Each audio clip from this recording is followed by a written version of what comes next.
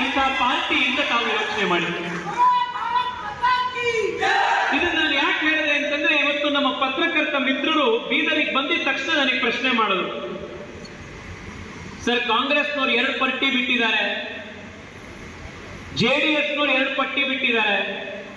ನಿಮ್ದು ಒಂದು ಪಟ್ಟಿ ಬಿಟ್ಟಿಲ್ವಲ್ಲ ಅಂತ ಜೆ ಡಿ ಎಸ್ನವರು, ಕಾಂಗ್ರೆಸ್ನವರು ಪ್ರಶ್ನೆ ಮಾಡ್ತಾ ಇದ್ದಾರೆ. ಯಾಕೆ ಸರ್ ತಡ?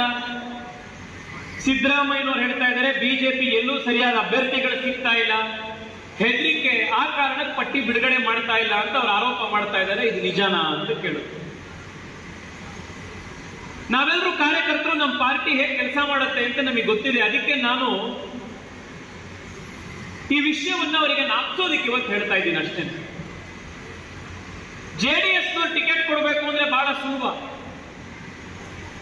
ದೇವೇಗೌಡರು ಅಡುಗೆ ಮನೆಯಲ್ಲಿ ಕೂತ್ಕೊಂಡ್ಬಿಟ್ರೆ ಅರ್ಧ ಗಂಟೆ ಯಾರಿಗೆ ಕೊಡಬೇಕು? ಸೊಸೆ ಕೊಡಬೇಕಾ? ಮಗನ್ ಕೊಡಬೇಕಾ? ಮಗಳಿಗೆ ಕೊಡಬೇಕಾ? ಅಳಿಯ ಕೊಡಬೇಕಾ? ಯಾರಿಗೆ ಕೊಡಬೇಕು ಅಂತ ಅವರೇ ಅಲ್ಲಿ ಅರ್ಧ ಗಂಟೆ ಅಡುಗೆ ಮಾಡ್ತಾ ಮಾಡ್ತಾ ಮನೆ ಚರ್ಚೆ ಮಾಡಿಬಿಟ್ರೆ ಟಿಕೆಟ್ ಲಿಸ್ಟ್ ರೆಡಿ ಆಗೋಗ್ಬಿಡುತ್ತೆ. ಅಷ್ಟಾದ್ರೂ ಕೂಡ ಅವ್ರ ಟಿಕೆಟ್ ಲಿಸ್ಟ್ ರೆಡಿ ಆಗ್ತಾ ಇಲ್ಲ. ಇನ್ನೂ ಹಾಸನದಲ್ಲಿ ಸೊಸೆ ಕೊಡಬೇಕು, ಮಗನ್ ಕೊಡಬೇಕು ಅನ್ನೋದ್ರ ಬಗ್ಗೆ ಗಲಾಟೆ ಭರಪೂರವಾಗಿ ನಡೀತಾ ಇದೆ. ಕಾಂಗ್ರೆಸ್ನಲ್ಲಿ ಎರಡು ಮೂರು ರಾಜಕೀಯ ಬಣಗಳು ಒಟ್ಟಿಗೆ ಕೂತ್ಕೊಂಡ್ಬಿಟ್ರೆ ನಮ್ ಕಡೆವರೆಗೆ ಒಂದು ಐದು ಕಡೆ ಸೀಟ್ ಕೊಡ್ರಪ್ಪ ನಿಮ್ ಕಡೆ ಐದು ಅವ್ರಿಗೆ ಸೀಟ್ ಕೊಡ್ರಪ್ಪ ಅಂತಂದ್ರೆ ಅವ್ರ ಟಿಕೆಟ್ ಲಿಸ್ಟ್ ರೆಡಿ ಆಗೋಯ್ತು. ಅದೇ ರೀತಿ ಟಿಕೆಟ್ ಕೊಟ್ಟಿರೋದ್ರಿಂದ ಟಿಕೆಟ್ ಲಿಸ್ಟ್ ಹೊರಗಡೆ ಬಂದ ಮೇಲೆ ರಸ್ತ ರಸ್ತೆ ಹೊಡೆದಾಡ್ತಾ ಇದ್ದಾರೆ ಇವಾಗ. ಆದ್ರೆ ನಮ್ಮ ಪಾರ್ಟಿಲಿ ಆ ತರ ಮನೆ ಒಳಗಡೆ ಕೂತ್ಕೊಂಡು ಯಾರೋ ಒಬ್ರು ಇಬ್ರು ಮಾತನ್ನ ಕೇಳಿ ಟಿಕೆಟ್ ಕೊಡುವಂತ ಸಂಪ್ರದಾಯ ನಮ್ಮಲ್ಲಿಲ್ಲ.